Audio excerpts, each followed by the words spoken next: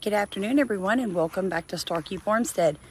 I have some ideas that I want to share with you discussing rainfall. I want to discuss in this video how the rich keep getting richer and how water wars is not just endemic to Maui and Hawaii, but the entire world is in a water war. They're doing it through cloud seeding.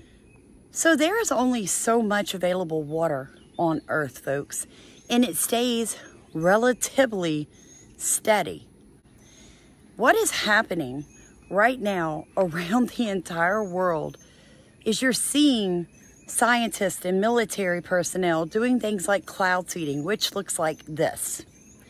So you've got weather stations that are monitoring for what might be possibly a cloud in the sky that might produce rain. Then they send up a plane and they're saying here in this picture that you're looking at, they're using salt, but they're also using toxic chemicals in some situations. They make the water in the cloud heavier than natural and it falls down to the earth ahead of schedule, interfering with Earth's natural water cycle.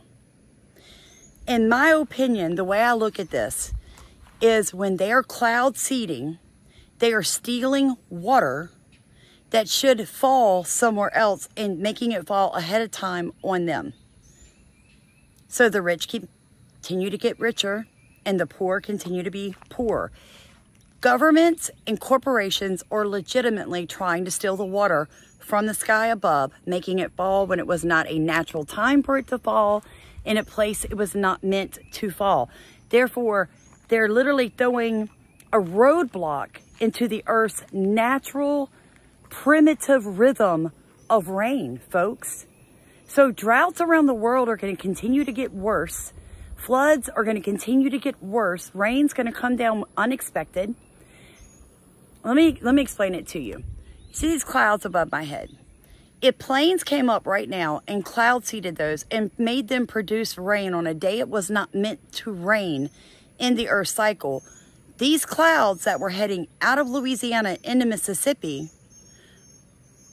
might be ready to drop rain by the time they get to Mississippi, but they seed them here in Louisiana and cause the water that's in them to come down on me versus the people who live in Mississippi. Louisiana got the water, Mississippi did it. Therefore, interfering with the natural cycle of how water falls on the earth. Now, that is the most simple way that I can bring that knowledge to you. And the reason I'm doing it is I had someone say, why are we having droughts, Sam? Why are we having droughts? We can cloud seed. We can manipulate the weather. Why, why don't people just make it rain everywhere? It doesn't work like that, folks. It does not work like that. There's cycles. The earth has cycles. And what you're seeing with all these governments, corporations, universities messing with the weather, it is causing severe storms. It is causing severe droughts. It is causing severe flooding. I think they're doing it with way more than just the weather. I think they're doing it through frequency, through sound. They're doing it through CERN and all of this stuff they're shooting into the atmosphere. Let's start with evaporation. The water in lakes, rivers, oceans, sun comes down, heats it up, it evaporates back up into the sky. As that evaporated water rises higher into the sky, gets higher and higher, it cools down and begins to condensate, creating clouds. When the water droplets in the clouds begin to combine and it begins to get too heavy, it falls. That comes down in water, hail, sleet, snow, rain. Then of course you have runoff as it's raining and the ground can't soak it up quick enough. It runs off like you guys have seen me show you here on my farm.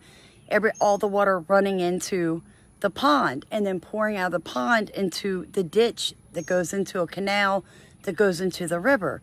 That is runoff. Of course, my favorite is infiltration. Now, infiltration is a curious thing. If you've been watching any of my videos for any amount of time, I talk to you constantly about ways that you can trap water around your crops and the food that you're growing so that you then don't have to water it during periods of time where there is no natural rain.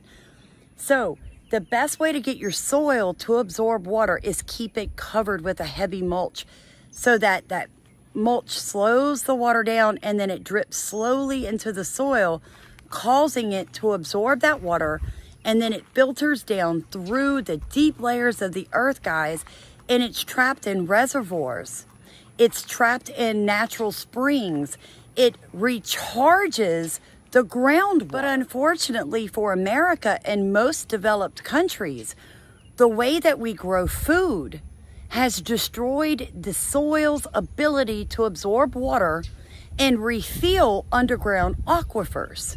Therefore, we're running out of water. And when droughts come, you're seeing it in Idaho, I, I, I mean, Idaho, um, Ohio, Oregon, soon to be Washington and California. You're seeing them say there's not enough water for everybody, so we're just going to cut the water off. Can't water your lawn. Can't wash your car. You can't grow food because we don't have enough water for everyone. It's not that the earth is running out of water. It's that we are not using the water properly. And now that countries, businesses, military are cloud seeding, they are causing the clouds to drop rain in areas that it was not meant for. So say, let's just use California. Let's pick on California, folks. Say California. It's a rich state. They have cloud seeding. It's a proven fact. They cloud seed, cloud seed, cloud seed. And then the clouds that say would make it to Idaho and drop water never do. Because it, they're making the water drop in California. So then the clouds dissipate and Idaho continues in a severe drought for years and years and years. Guys, this isn't rocket science, but you do have to understand the basics behind state to state warfare, country to country warfare, it's a real thing. Cloud seeding should be illegal. There's no purpose for it, except I'm going to make the waterfall where I want it to versus where God intended it to go. That's it. That's all I got for you right now, guys. Just got out of church. My boys are here. Um, my oldest goes back to Tampa tomorrow. Uh, he may extend his stay if he can find a vehicle that he wants to buy. My youngest literally leaves Tuesday morning to go to basic training. He will be gone 13 months between schooling and basic. Still got a daughter in New Zealand. And then my youngest daughter is back home from New Zealand. Folks, we are leaving August 1st through the 12th. We had extended a day to go to Maui. Please pray about it. Ask God how much money you can send for that trip for the fire victims. Um, I'll drop the different ways you can do that. This channel is not monetized. So if you just want to donate to the facts and the information we bring you to show your appreciation, we would be thankful. Please hit the like, comment, and subscribe for more videos like this.